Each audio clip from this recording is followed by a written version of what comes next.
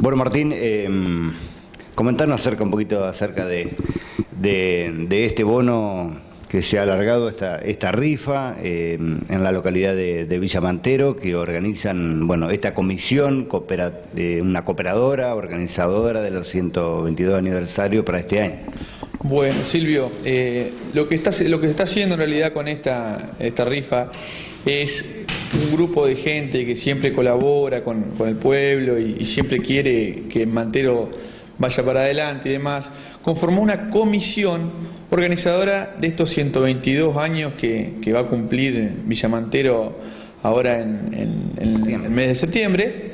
Y bueno, esta comisión organizadora eh, lo que va a hacer es un bono contribución que va a estar, en este caso, eh, presidida por el señor Juan Martínez eh, que van a tener una cantidad de premios y obsequios para que la gente pueda participar, ganar algo si tiene suerte y de una, forma colaborar con, con, lo que va a ser este, este aniversario.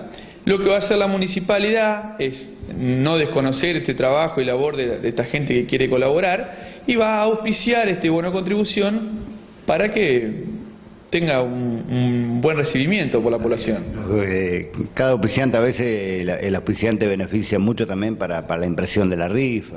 Sí, tal cual. Eh, eh, Villamantero siempre, cuando celebra el aniversario, es acompañada por todos los habitantes, por gente de las localidades aledañas. La verdad que, siempre tiene un buen recibimiento.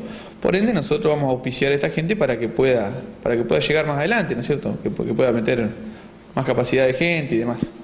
Seguramente, bueno, este bono contribución o, esta rifa eh, eh, está abocada a juntar beneficios para, para, trabajar ese mismo día, el día del Festival de la Jineteada. Sin lugar a dudas, lo, que se hace es juntar fondos para que esta jineteada que se hace año a año, comenzó hace, hace poco tiempo, pero que siempre fue tuvo un buen recibimiento y bien aceptada por la población, es que eh, se puede invertir más y bueno, mejorar la calidad del espectáculo y así el público tiene un espectáculo acorde a las necesidades, ¿no es cierto? Entonces, eh, lo que se busca es que haya mejor calidad de espectáculo, ¿no?